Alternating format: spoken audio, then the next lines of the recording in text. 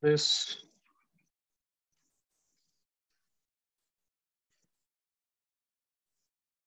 bien, vamos a retomar los conceptos de álgebra lineal que necesitamos para el capítulo de álgebra matricial, que es en el que nos encontramos estudiando.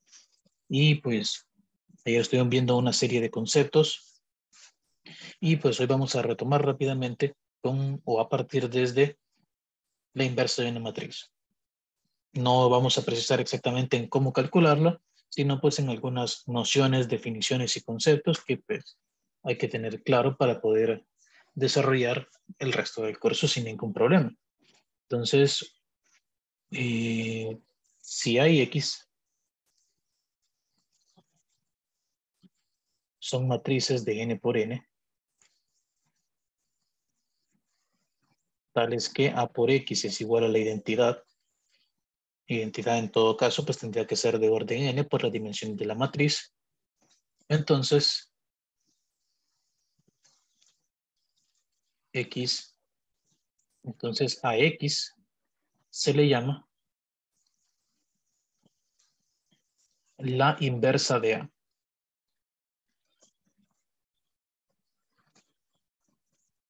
que en el mismo papel, pues entonces x sería la matriz inversa de x. Y note que al decir la matriz, estamos diciendo implícitamente que es única. Cosas que pues se pueden llegar a comprobar.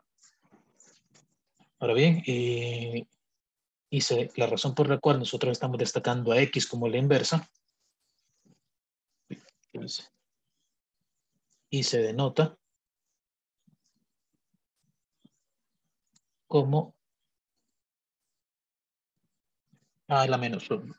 Entonces, podemos trabajar con diferentes exponentes para las matrices teniendo en cuenta de que el exponente a la menos 1 pues eh, está reservado exclusivamente para la matriz inversa. Entonces, eh, tenemos esto y entonces A se le denomina no singular o lo que es lo mismo, invertible.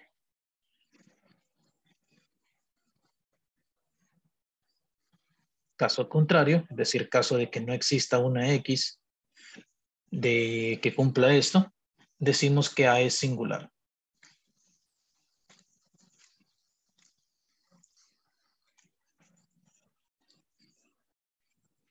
Bien, entonces, vamos a ver. De ahí dos propiedades básicas a tener en cuenta y que no debemos olvidar. Entre las tantas que hay, pues vamos a enumerar dos. La primera, que la inversa de un producto es el producto de inversas yuxtapuesto. Y la segunda es que la inversa de la transpuesta de una matriz resulta ser igual a la transpuesta. Eh, perdón, este es la inversa de la transpuesta. Termina siendo la transpuesta de la inversa. Así. Y por notación, a esto nosotros lo podemos escribir como a la menos transpuesta. Entonces, cuando tenemos menos t como exponente, sabemos que en sí es la inversa transpuesta. Simplificación de expresión, ¿verdad? Entonces, esas son las dos principales propiedades de matrices inversas y la razón por la que lo revisamos es porque nos interesa una fórmula o un par de fórmulas específicas, una que es generalización de la otra, pero eh,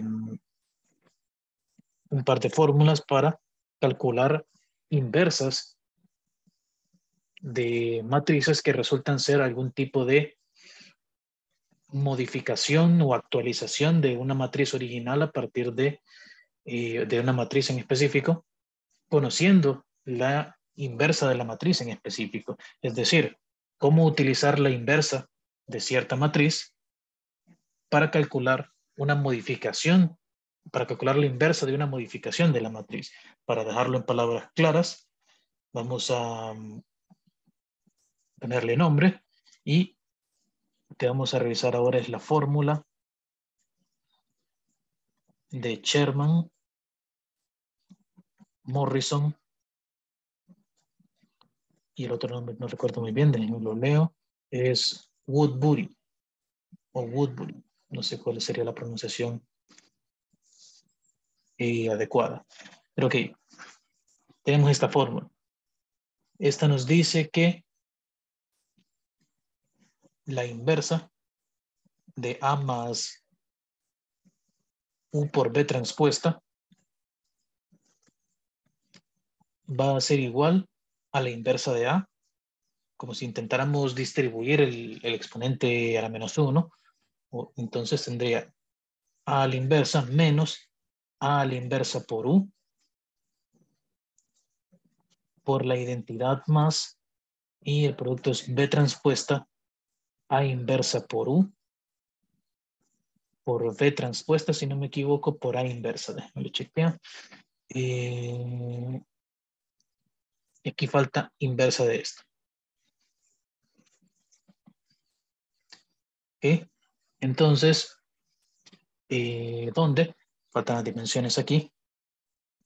A es una matriz de n por n y U y V son matrices de, serían, vamos a ver para que queden las dimensiones, es n por k.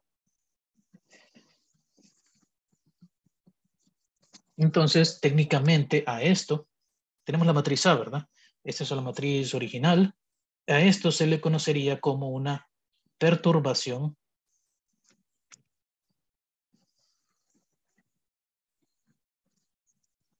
de rango K, suponiendo claramente de que estas matrices U y B son de rango completo, porque aquí el K es un número, o se busca principalmente que sea un número menor que N.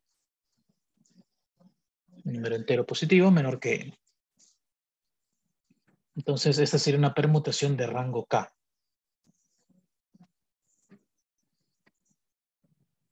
Entonces, eh, sucede que en muchas situaciones nosotros preferimos utilizar matriz o utilizar información conocida para generar otras cosas. la situación o la importancia de esta fórmula recae en lo complicado que puede llegar a ser computacionalmente calcular la inversa de una matriz. Entonces, puede llegar a suceder que en algunas aplicaciones nosotros nos interesa calcular constantemente inversas de matrices, pero esas matrices están de cierta manera algo cerca de una matriz principal o de una matriz original. Entonces, lo que nos está diciendo este, esta fórmula es que yo puedo encontrar la inversa de esas matrices que están cerca de una matriz original, que es en este caso la matriz original es la A. Puedo calcular todas esas inversas conociendo la inversa de la matriz y calculando una inversa que en teoría es más sencilla. No vamos a profundizar todavía en cómo calcularla, todavía, pero eh, en teoría calcular esta inversa es más fácil que la inversa original. Entonces lo que sucede es que pasamos del problema de calcular un montón de inversas de matrices de esta forma a calcular una vez la matriz de la inversa de la matriz A la calculamos una vez, la dejamos almacenada y luego calculamos estas inversas que son bastante más sencillas de calcular. Entonces, una vez calculadas estas inversas, solo toca hacer los productos de matrices. ¿Ok? Entonces, esa es la situación. Que si nosotros queremos resolver o calcular varias inversas de este tipo, esta fórmula ahorra considerablemente el costo computacional. Entonces, eh, obviamente, aquí, en esta fórmula,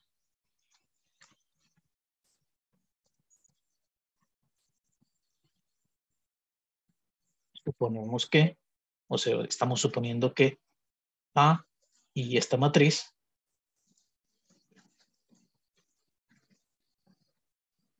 déjenme corroborar la inversa de esto, creo que, a ver, sí, sí, sí va esta matriz, estas dos matrices que están aquí son no singulares, es decir, tienen inversa. Y note también que, además de la aplicación que les dije antes, esta fórmula también nos está diciendo que si esta matriz tiene inversa y esta otra también, entonces esta otra matriz, la de A más V por T, va a ser no singular, va a ser invertible. Entonces me basta yo conocer, eh, saber que estas dos son invertibles para saber que esta es invertible. Porque ese es otro problema que lidiamos con álgebra lineal, que algunas veces no sabemos si la matriz es invertible, así que necesitamos de algún resultado teórico, preferiblemente, para verificar si tiene inversa. Y digo teórico porque al tener matrices de tamaño muy grande, verificar la inversa de forma eh, computacional o de forma directa resultaría algo muy caro y además podría tener imprecisiones si lo hacemos de forma computacional. Es decir, podríamos tener matrices que son casi invertibles, pero que en realidad no lo son. Entonces, este es uno de esos resultados. Bien, ahora con, esta es la fórmula de Sherman Morrison Woodbury, la cual es bastante general. Ahora, em, vamos a ver, hay una forma, o mejor dicho, hay un caso de particular de esta fórmula, que es simplemente la fórmula de Sherman Morrison, que es cuando K vale 1. Cuando K es igual a 1, obtenemos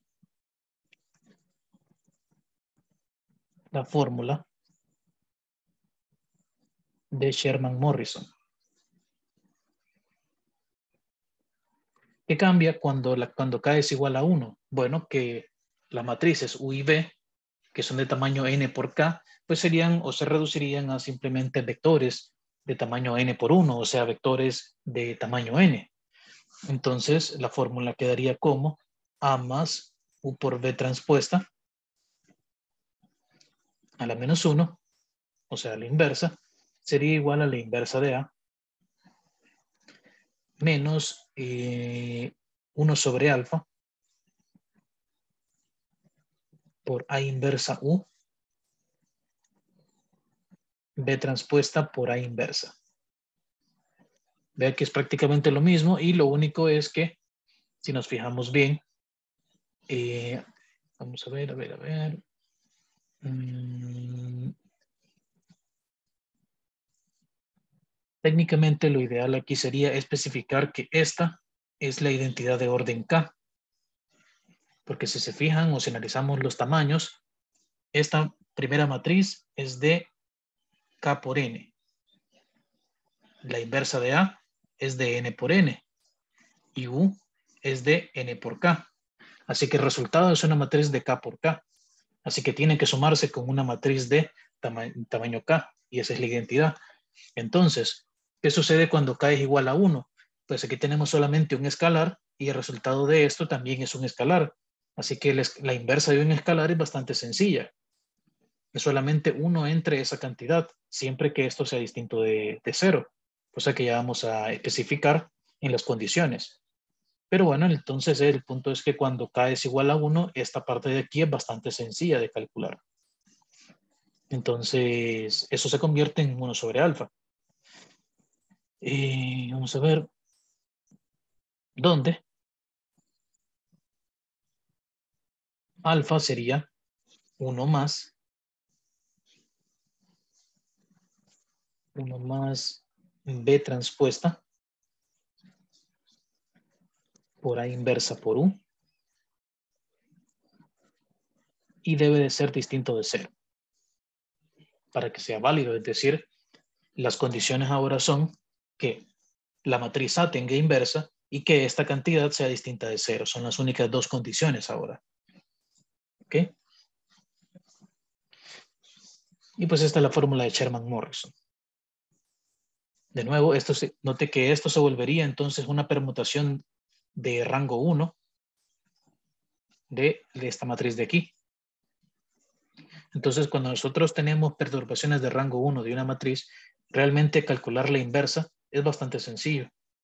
Y en este momento no les tengo un ejemplo tangible, pero sí sé que hay bastantes aplicaciones de permutaciones de rango 1 de matrices, como por ejemplo permutaciones de rango 1 de la identidad. Y Pues bueno, hoy, obviamente, una tarea implícita que realmente no revisé si estaba en la lista de ejercicios, pero una tarea que al menos uno debería de hacer luego de esta discusión es que si le estoy diciendo que esta parte de aquí, U por B transpuesta, es una permutación de rango K y que esto de aquí es una permutación de rango 1, pues lo ideal sería verificar de alguna forma que esas matrices son de, que esa matriz, la U por B transpuesta y la V transpuesta, son matrices respectivamente de rango K y de rango 1. Eh, que son pruebas realmente sencillas, no es mucho lo que hay que hacer, solo hay que encasillar la definición de rango con los tamaños de las matrices. Aquí recuerde, una hipótesis adicional que estamos diciendo es que U y V son de rango completo.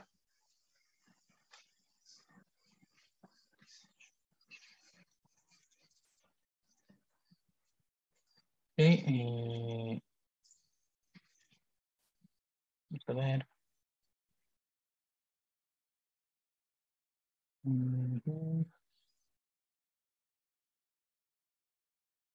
Aunque déjenme revisar una cosa.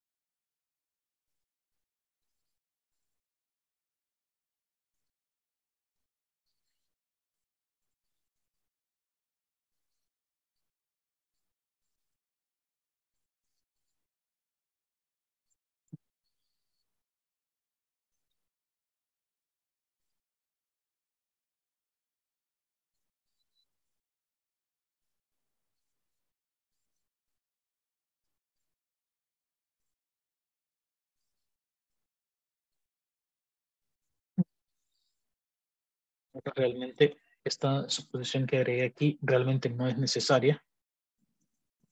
No hace falta que las matrices sean de rango completo para que, para que se cumpla.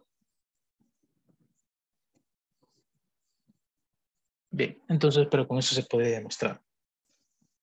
Ok, entonces sigamos con los conceptos del álgebra lineal. El siguiente es un, un concepto más que importante en todo el desarrollo, que es el concepto de ortogonalidad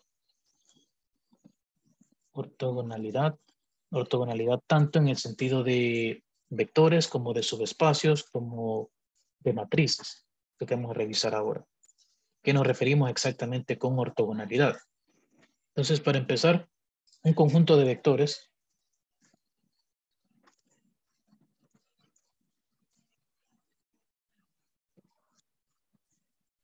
B1, B2, hasta Bn, en RM vamos a colocarlos. Realmente, sí, en RM es ortogonal. Si B sub I transpuesta por B sub J es igual a cero para I distinto de J. Dicho de otra forma, o dicho en palabras, si yo tomo dos vectores distintos de aquí, y hago su producto interno su producto punto, el resultado es cero. Eso significa que el conjunto de vectores es ortogonal. Y decimos que es ortonormal si el mismo producto punto entre dos vectores cualesquiera es igual a la delta de Kronecker.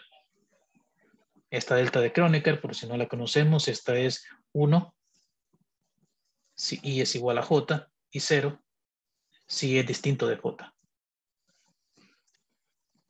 En otras palabras, un conjunto ortonormal, un conjunto de vectores ortonormal, es un conjunto de vectores ortogonal que además tienen magnitud o sí, tienen cada uno de estos vectores tiene magnitud 1 o distancia 1 o norma 1, como le queramos llamar.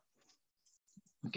Entonces, listo. tenemos esos dos conceptos sobre la ortogonalidad de vectores. Ahora, vamos a decir que una colección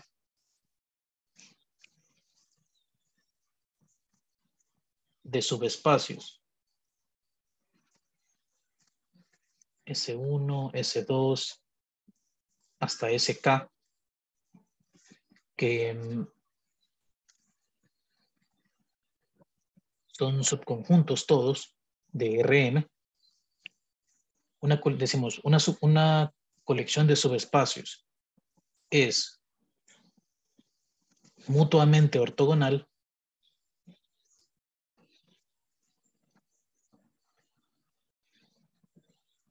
otro nombre que he encontrado yo en otras literaturas es ortogonal 2 a 2.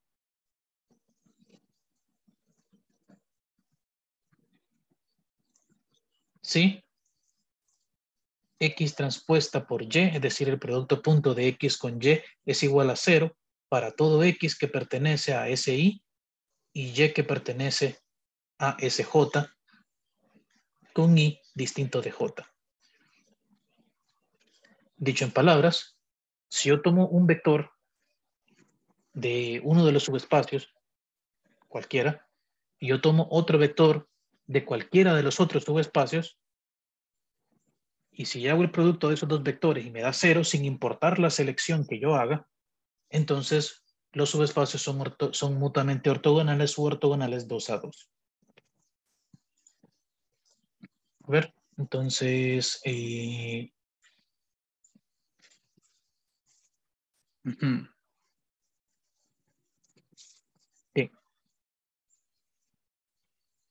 Ahora, asociado con ortogonalidad de subespacios, una pregunta interesante que uno podría plantearse es, bueno, yo tengo un subespacio.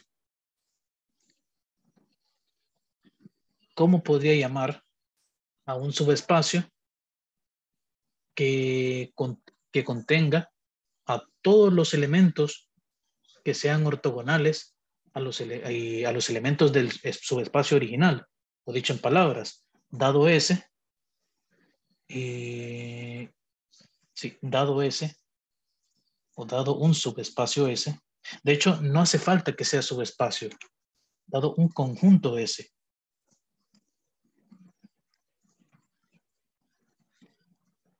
En RM,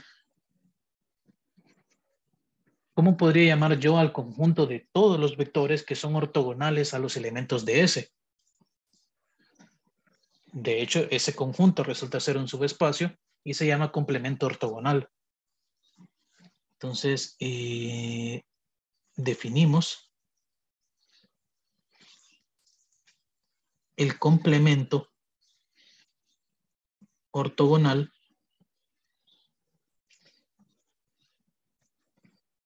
de S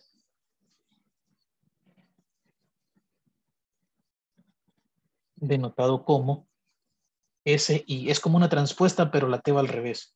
En realidad es que el signo de ortogonalidad, como cuando uno en, en 111 decía, ah, es que la recta L1 es ortogonal a la recta L2, aquí lo mismo, el signo de ortogonal es el que se coloca aquí, denotado como S en realidad esto simplemente se lee como el complemento ortogonal de S, así que no tiene un nombre el símbolo. Entonces, el complemento ortogonal de S se denota así. Y lo definimos como el subespacio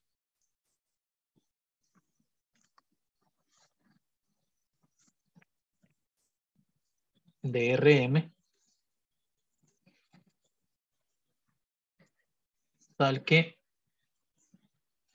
o que contiene, mejor dicho,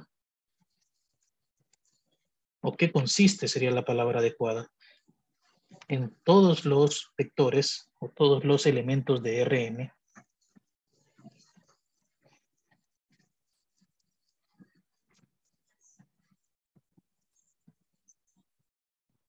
que son ortogonales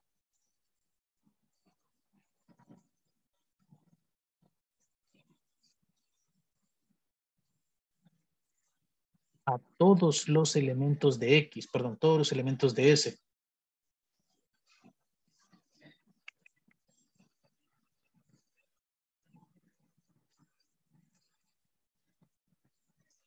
Puesto en símbolos para simplificar el conjunto, el complemento ortogonal de S, es un subespacio que consiste en 2y de Rm, tales que y transpuesta por x es igual a 0 para todo x que pertenece a S. Note que esta definición de aquí no ocupa que ese sea un subespacio, por eso lo dije aquí como conjunto, pero resulta ser que el complemento ortogonal sí es un subespacio. Ese como dato. Eh,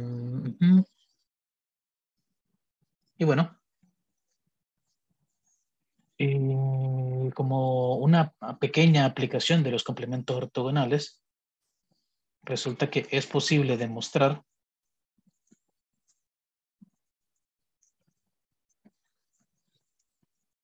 que el complemento ortogonal del rango de una matriz, el rango como subespacio, resulta ser igual al espacio nulo o al espacio eh, o al, sí, al, espacio nulo o al kernel de la matriz, de, la transpuesta de la matriz. es una propiedad interesante. entonces, mm,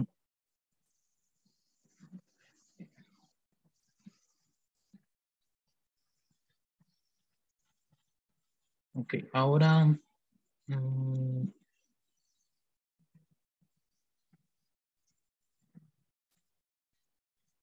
Permítame que verificar una.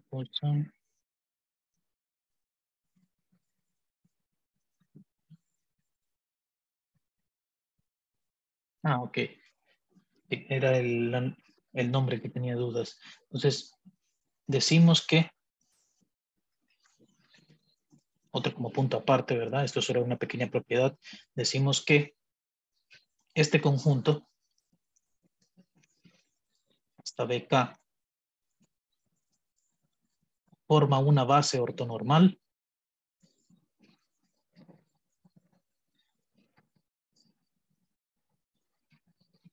DS, un subespacio de RM,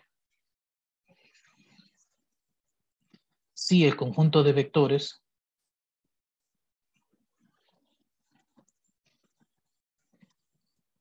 es ortonormal. Y ese resulta ser el espacio generado por los vectores B1 hasta BK. Recuerde que la definición de base lo que nos dice es que es un conjunto de vectores linealmente independientes que además generan el espacio. Pero para llamarse base ortonormal lo que tenemos que pedir ahora es que el conjunto no solamente sea linealmente independiente, sino que también sean ortonormal. Eso lleva implícito de que un conjunto de vectores ortonormal automáticamente es linealmente independiente, cosa que se puede probar. De hecho, lo único que necesitamos para probar eso es la ortogonalidad. No hace falta que sean ortonormales, con que sean ortogonales sería suficiente, pero ahí ya sería una base ortogonal y no ortonormal. Bien, y ahora hablamos ya de vectores ortogonales, espacios ortogonales y complementos ortogonales. Ahora vamos a hablar de matrices ortogonales. Entonces, decimos que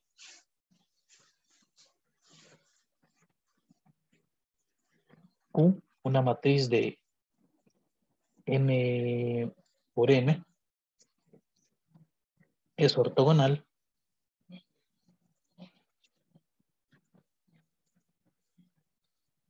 si Q transpuesta por Q es igual a la identidad de tamaño M. Puesto de esta, de esta forma, lo que estamos diciendo es que toda matriz que sea ortogonal es una matriz invertible y al mismo tiempo su inversa es su transpuesta.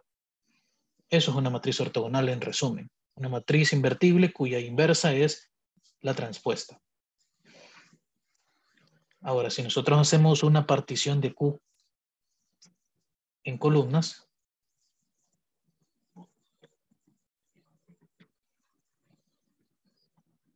Resulta que ese conjunto de vectores que se forman forma una base ortogonal de RM.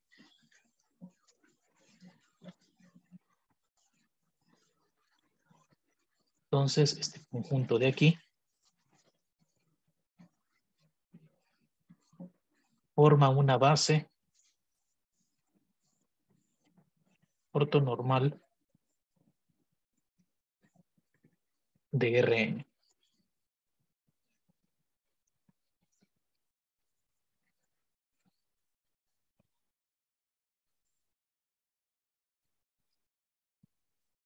ahora, mm,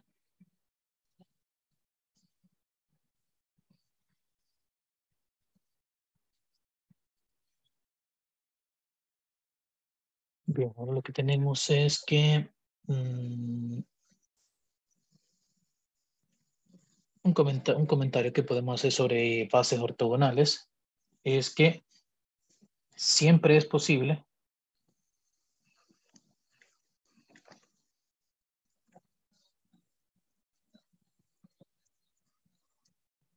extender o construir mm,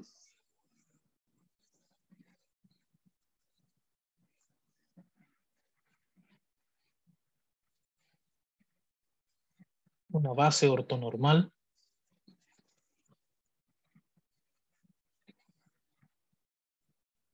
para Rn. Vamos a retomar esto un poco más adelante, sobre todo cuando veamos la factorización QR, porque la razón por la que siempre se puede construir una base ortonormal se llama proceso de ortogonalización.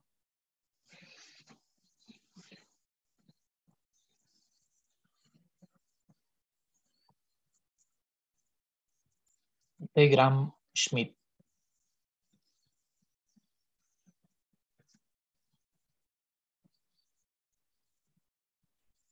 Y pues resulta que ese proceso de ortogonalización nos permite construir una especie de factorización para matrices de interés. Okay, y tenemos un, teorem, un teoremita más para todo esto de ortogonalidad. Este es el teorema 2.1.1, si no me equivoco.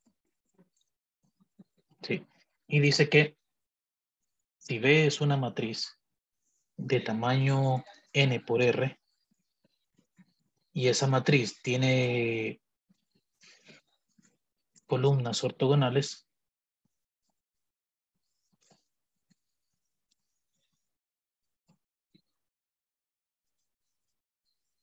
entonces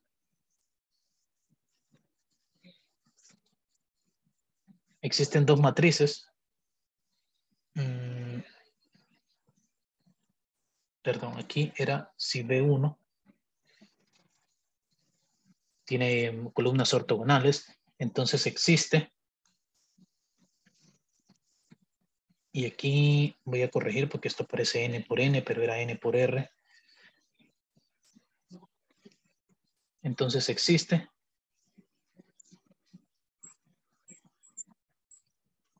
Una matriz B2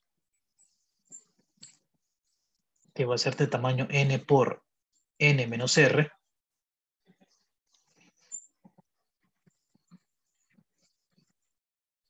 Tal que esta matriz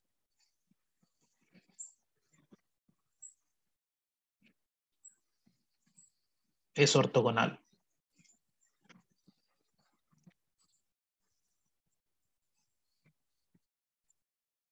Y además,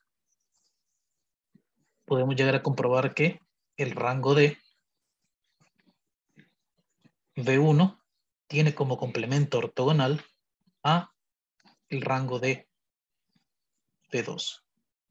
Y esto de aquí es simplemente una partición en bloques, es decir, estoy creando una nueva matriz colocándole a la par V2 a la matriz V1.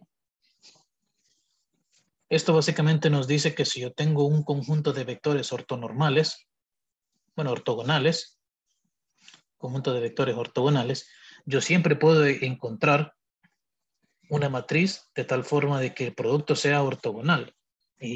pero, perdón, mm, no tiene sentido a menos que aquí cambiamos por ortonormales.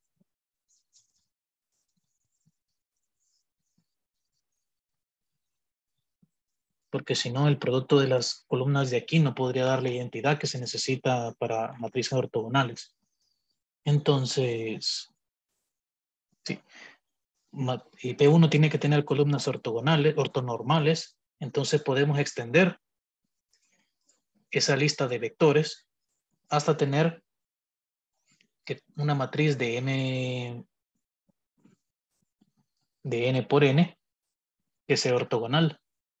Note que uniendo esto con la frase que tenemos aquí, o mejor dicho, con lo que tenemos a partir de este sí, significa que si yo tengo una lista de vectores ortonormales, siempre puedo encontrar una matriz o siempre puedo encontrar una lista complementaria hasta llegar a formar una base de Rn, que es una combinación prácticamente de las últimas dos proposiciones que se plantearon. Y pues, como no, esa forma de construir o de encontrar esa B2 es a través del proceso de ortogonalización de Gram-Schmidt. Bien, entonces eso es principalmente lo que íbamos a discutir acerca de ortogonalidad. De ahí otro concepto que podemos definir o más que todo recordar es el de determinante. Entonces, eh, sabemos que si A es una matriz de uno por uno, entonces el determinante de A es igual a ese número A. ¿Ok? Ahora, para A que pertenece a Rn, tenemos que el determinante de A puede eh, calcularse a partir de una expansión en cofactores, lo cual podemos expresarlo de esta forma. Sería una sumatoria desde j igual 1 hasta n de menos 1 a la j más 1 por a sub ij, perdón, a sub 1j por el determinante de A sub 1J.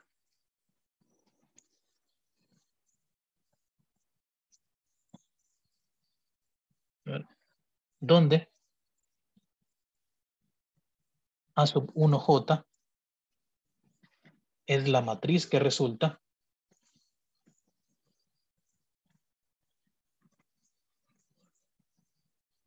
de eliminar o de omitir la fila 1 y la columna J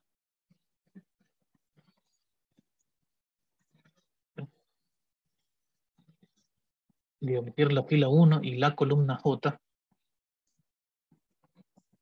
de A, o sea, de la matriz original. Esta es una expansión en cofactores entonces a lo largo de la primera fila y puede generalizarse, realmente puede colocarse para y puede hacerse una expansión en cofactores a partir de cualquier fila o cualquier columna. Pero eso llevaría a expresiones equivalentes. Eh, por ejemplo, para hacer una expansión en cualquier fila, basta con que yo cambie este 1 por cualquier i y hago una expansión en cofactores en filas. Y si yo quiero hacer una expansión de cofactores en columnas, lo que debería de hacer es cambiar este j por i e intercambiar estos dos de aquí. Es decir, Vamos a hacer una sumatoria desde igual 1 hasta n, de menos 1 a la i más j. Y pues aquí sería ij y aquí también ij. Lo único es que ahora no, eh, la sumatoria es con respecto a i. Esas serían generalizaciones de esa expresión. Pero bueno, eso es una forma entonces de mm, calcular el determinante. Ok, ahora propiedades básicas de determinante.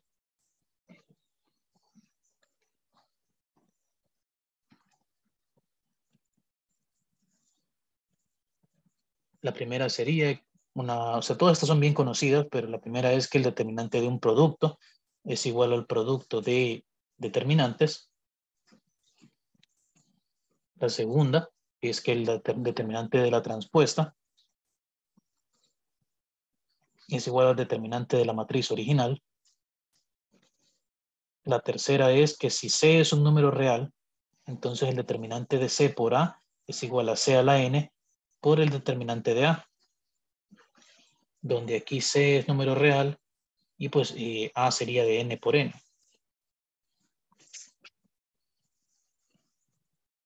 Creo que solo esas, vamos a ver. Ah, bueno, tenemos una más.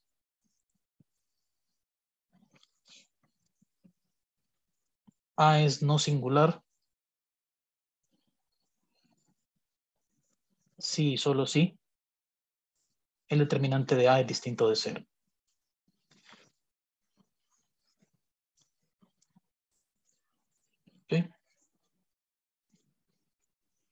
Entonces, sobre determinante, eso es lo que nos interesaba. Ahora vamos a hacer una breve descripción de algo que es sumamente importante en álgebra lineal y es uno de los corazones de las aplicaciones de álgebra lineal, que son los eigenvalores y eigenvectores, o autovalores y autovectores.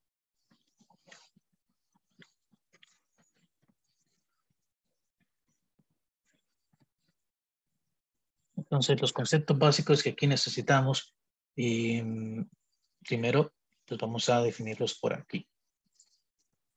Entonces, llamamos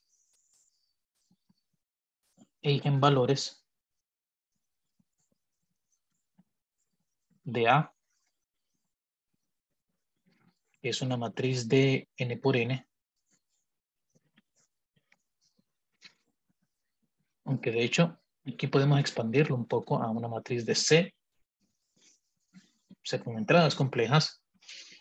Y vamos a llamar eigenvalores a una matriz de una matriz A de n por n con entradas complejas a los ceros del polinomio característico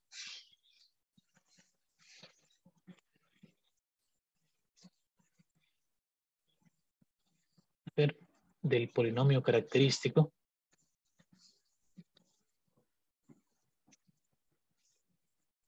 el cual se define así. Es P de lambda igual a el determinante de la... Bueno, hay dos formas de cómo escribirlo. Uno es A menos lambda por I. Y otro es eh, lambda por i menos, menos a, pero bueno, este es el más común, me parece. ¿Ok?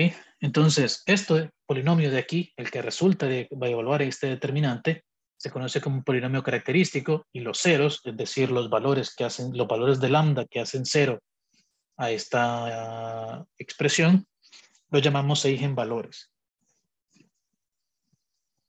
¿Ok?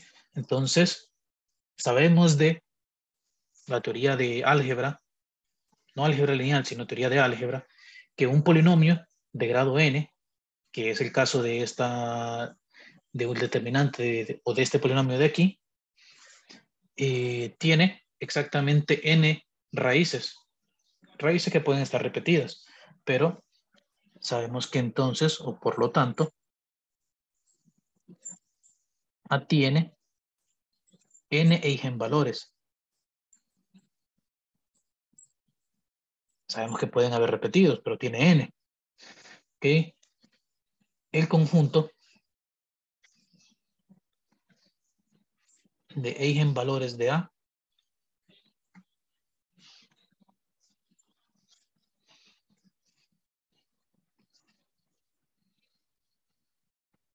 mm, El libro no lo menciona, pero me parece que el nombre adecuado es espectro. que las, averiguo si exactamente es el nombre.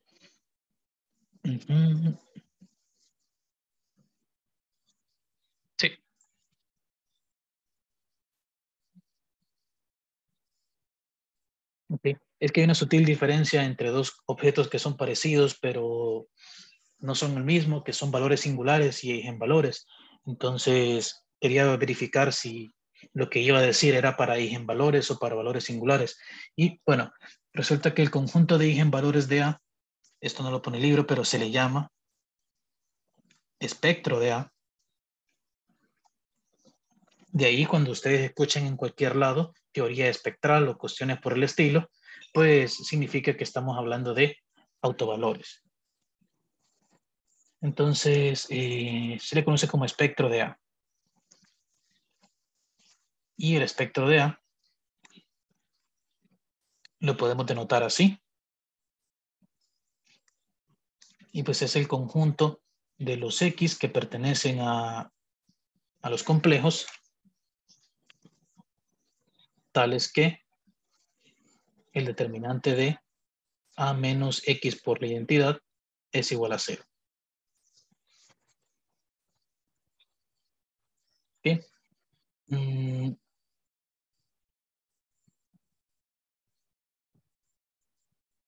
Ahora si los valores de A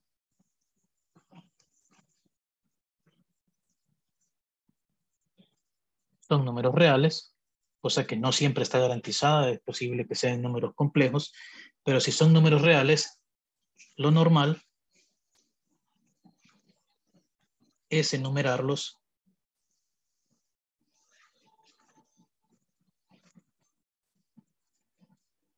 en orden decreciente. Mejor dicho, en orden no creciente, porque pueden ser iguales. ¿Y cómo es un orden no creciente? Bueno, el más pequeño es lambda n. De ahí el siguiente es lambda n menos 1. Y así va. Y los dos más grandes serían lambda 2 y lambda 1. Este es un orden no creciente. Sería, sería decreciente si las desigualdades fueran estrictas, pero como no es así, entonces es no creciente. Y pues en algunos casos, en algunas aplicaciones, a este simplemente se le llama lambda min, porque es el, el, el, valor mínimo, y este se le llama lambda max, porque es el más grande. Bien, ahora, si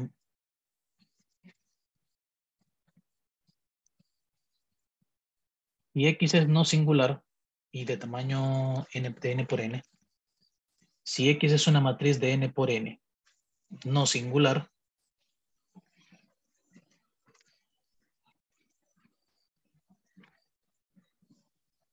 entonces B, que se calcula de esta forma, y A, bueno, entonces B, no solo quiero arreglar la redacción. Mm, si X es no singular y B es de esta forma, entonces se dice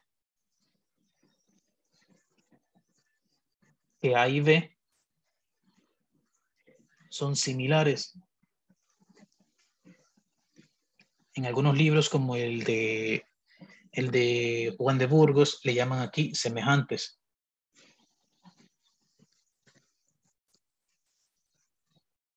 Entonces, si una matriz se obtiene por multiplicarle otra no singular en ambos lados, una a la inversa y en el otro normal, entonces las matrices son similares. ¿Y cuál es la propiedad de que sean similares? Dos matrices similares o semejantes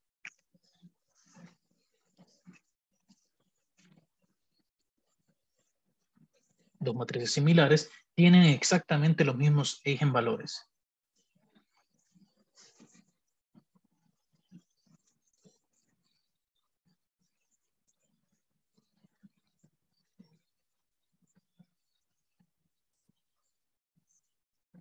Y cuando decimos que tienen exactamente los mismos, no nos referimos a que, eh, a que tienen a que, por decirlo así, este conjunto como tal sea el mismo para los dos, sino que además de eso, estamos diciendo que la, la repetición o la multiplicidad de cada eigenvalor es la misma.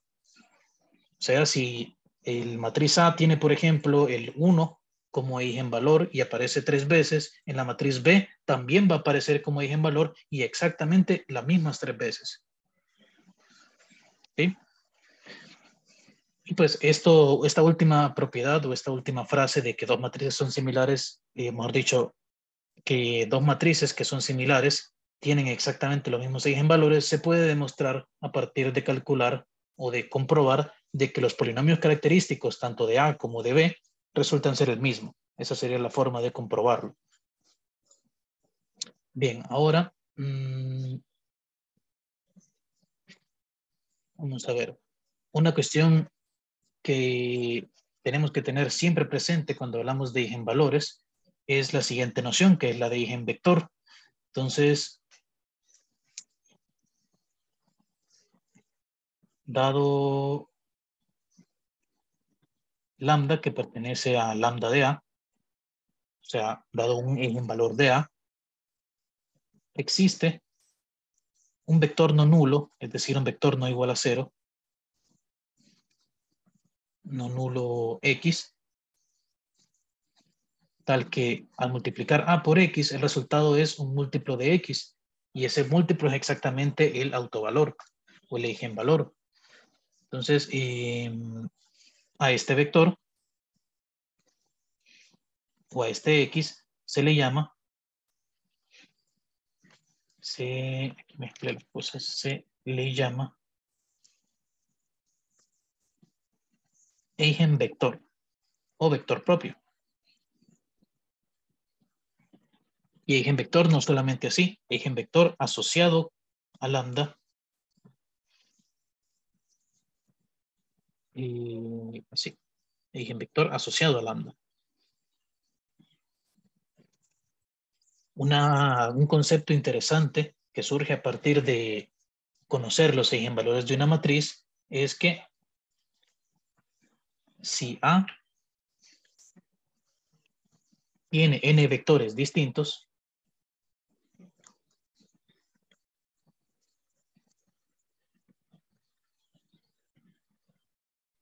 eh, perdón, distintos no es, era linealmente independientes.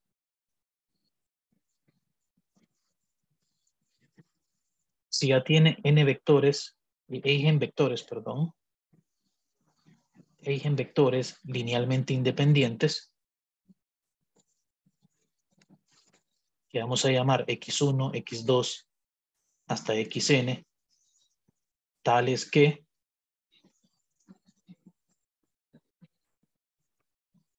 A por xy sea igual a lambda i por xy para i igual 1 hasta n.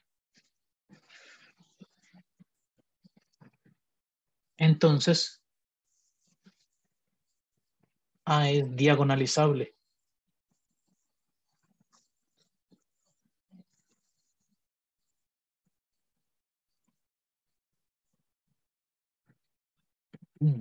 Eh, la razón por la que decimos que es diagonalizable es porque, entonces,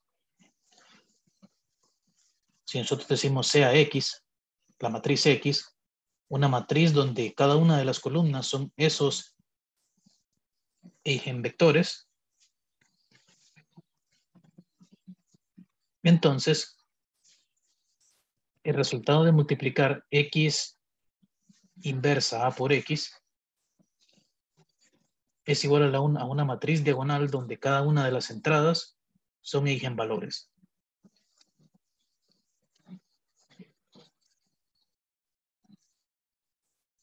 ¿Sí?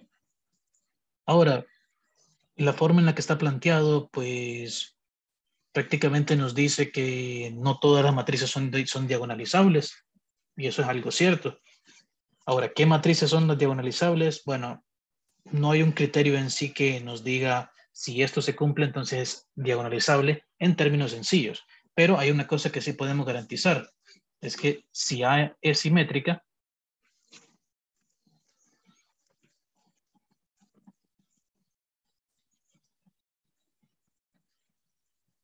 entonces existe una matriz ortogonal Q.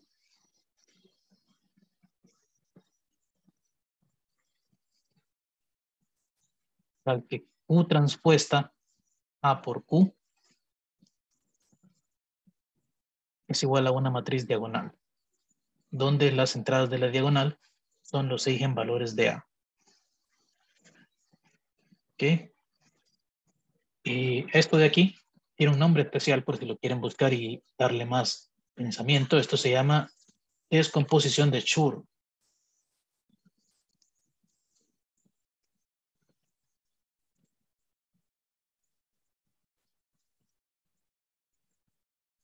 Llama descomposición de Schur.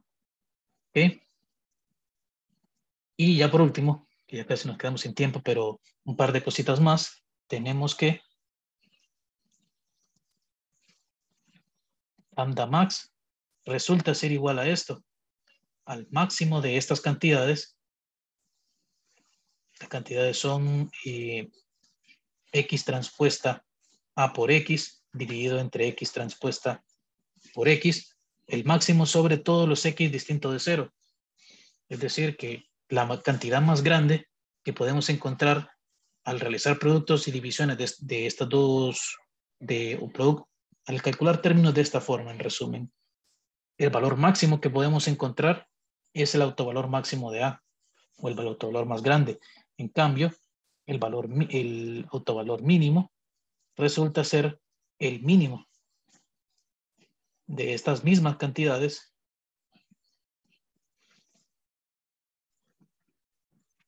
para, y ese mínimo se calcula sobre todos los x distintos de cero.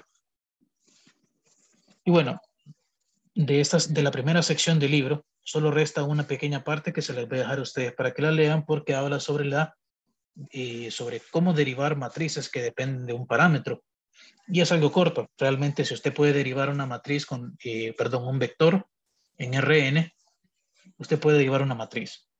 Es bastante sencillo. Entonces, esa es la sección 2.1.8, la última de la sección 2.1. Así que se los dejo para lectura. Leer subsección 2.1.8. Es bien poco, menos de un cuarto de página de hecho. Por eso les digo que lo pueden leer. Y bueno, esto culmina los conceptos de álgebra lineal que necesitamos para análisis matricial. Entonces, por hoy vamos a quedarnos hasta aquí. Recuerde que mañana no tenemos clases sincrónicas, sino que queda un video, va a quedar video y listo para la clase de, mañana. Y pues entonces nos volveríamos a platicar hasta el lunes de la otra semana. O eh, en cualquier caso, mediante cualquier tipo de consulta que haya. De por lo demás, por la hora tendremos que quedarnos hasta aquí. Que tengan feliz tarde y pues vemos.